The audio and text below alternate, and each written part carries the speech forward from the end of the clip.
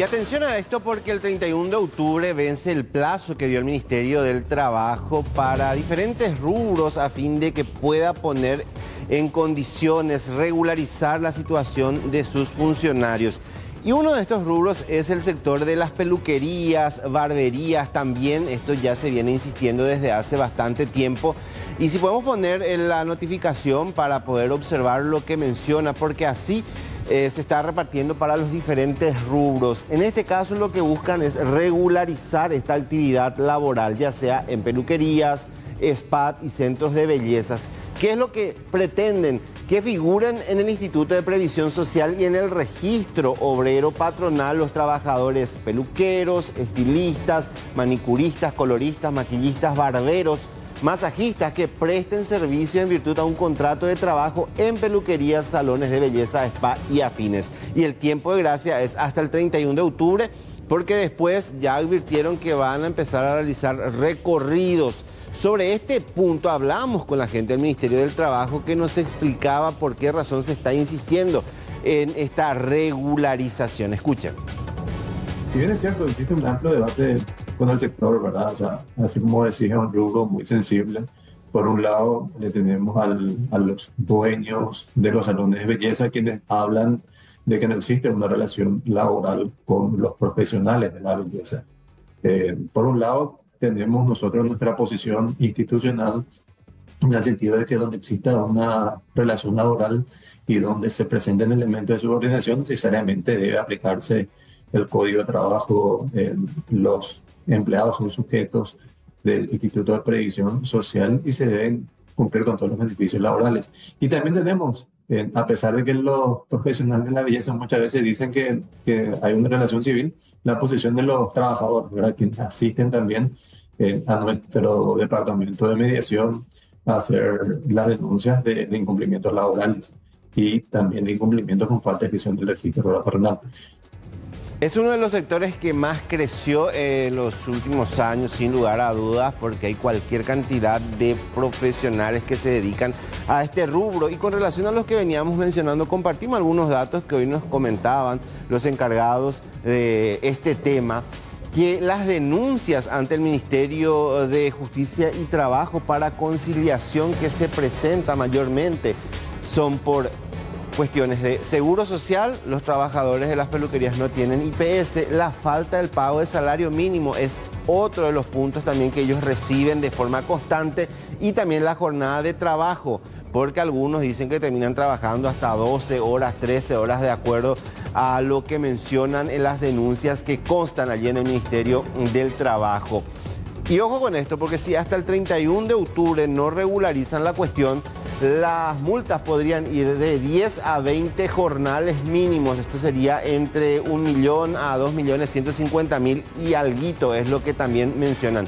Y decíamos que además de las peluquerías, esto abarca para todos los rubros y mencionaban de que estas son las actividades donde mayormente se están poniendo ya al día a partir de esta campaña. El sector de la construcción está regularizando la cuestión de sus funcionarios. Comercio al por menor también se está poniendo al día. Gastronomía y bodegas son lo que hasta este momento están registrando la mayor cantidad de regularización. Entre estos no figura el tema de las peluquerías. Así es que atención a los propietarios que nos están viendo, porque sabemos que nos ven en peluquerías, en salones de belleza, también contarles cómo viene la situación, porque van a aplicar multas. Y hablando del tema de salones de belleza, ayer se realizó una audiencia pública en la Cámara de Senadores. Hay un proyecto de ley que busca regularizar la relación entre los propietarios de salones de belleza y los profesionales de la belleza que trabajan en estos lugares. Hay una ley que está eh, de alguna manera en marcha ya y es esto. Proyecto de ley que define y regula las relaciones de dueños de salones de belleza y profesionales de la belleza. ¿Qué es lo que pretende con, este, con esta ley que se busca implementar desde el Congreso Nacional? En lo que respecta al tema de dueños de salones de belleza, estamos hablando de propietarios, personas físicas o jurídicas encargadas de la explotación del salón de belleza, sea en local propio alquilado e independientemente a la cantidad de personas que tenga en su salón. Así lo definen al menos en este proyecto que está en estudio actualmente. Y en lo que respecta a los profesionales de belleza serían peluqueros, barberos, coloristas, manicurista, pedicurista, maquillador, esteticista, asistente y técnico capilar. Ahora bien, vamos a compartir algunos puntos porque es bastante extenso el documento, pero voy a mostrarles solamente el documento eh, donde se observa qué es lo que menciona eh, en este proyecto de ley. Eh, ahí está. La centralización de pagos y cobros, que el dueño del salón de belleza será responsable de la centralización de los pagos y cobros derivados de las actividades de prestación de servicios realizadas por el profesional de belleza de acuerdo a las normas establecidas en esta ley. Otro punto que hace referencia es que el dueño del salón de belleza podrá retener los porcentajes establecidos en el contrato, así como los importes de pago de impuestos adeudados por profesionales de belleza que graben la parte que corresponda. Decíamos, esto tiene varias páginas, pero resaltamos algunos de los puntos que están en estudio. También el profesional de belleza no podrá asumir la responsabilidad y obligación derivada de la explotación de ese salón, de las cuestiones contables, fiscales, laborales y de seguridad social o cualesquiera otras relacionadas con el funcionamiento del negocio. Hay mucha discusión ahí porque algunos están a favor, otros en contra, dice hay que regular. Sí. No, decía nomás que eh, generalmente porque están escribiendo muchísimo, son comisionistas. ¿Cómo queda eso? Y hay que regularizar. No, no, pero digo, a muchas conviene porque tienen ya una clientela formada. Si bien vos serías el dueño de la peluquería, yo soy ese peluquero y tengo, por decir, 40 clientes y yo cierro mucho más que el, que el mínimo. O sea que es cuestión de cómo elaboren otra vez su contrato. Exactamente, tiene que hacerlo ahora por contrato y mm. dejar bien establecido. Y, están los famosos prestadores de servicio, ¿verdad? Que van y ellos facturan sobre lo que. Eso dijo el del ministerio. Muchos dicen que el tema de prestadores de servicio, pero nosotros lo vemos de otra manera, dijo el ministerio. Por eso es importante. Pero esto ya, ya corrió, se está debatiendo. Está en audiencia pública. Ya estuvieron ah, los peluqueros ahí en la Cámara de Senadores hablando de ese tema. Los, las grandes peluquerías dicen estar de acuerdo. Pero los emprendedores dicen, esto nos van a llevar a. Claro, porque hay muchísimas pequeñas peluquerías pues también. Mm. ¿Y eso que hacen a domicilio? Y todos tienen que regularizar su situación. No, lo que hacen a domicilio, Amalia, son cuentas propistas. Cuenta propista. eso les conviene. Acá estamos hablando de, Del Rolando, Rodi Coafer, mm. y tiene 10. Entre ellas vos, manicurista, yo puedo hacer de masajista, no sé.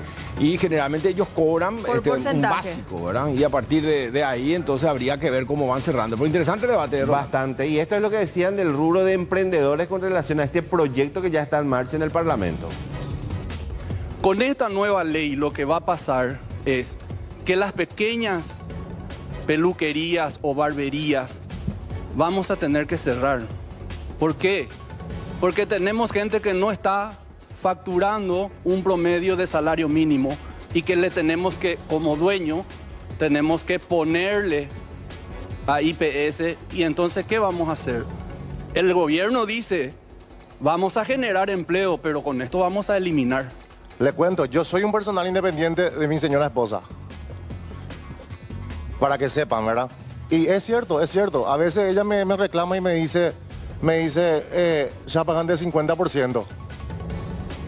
Ja, se a pagar alquiler, ayudar a papel higiénico, ayudar a eh, café, porque la mayoría de acá siempre está eh, tratando de levantar su negocio y trata de hacer pequeñitas cosas para que puedan tener un poquito más de clientela y tener un, por decirlo de una forma de decir, eh, un servicio premium, ¿verdad?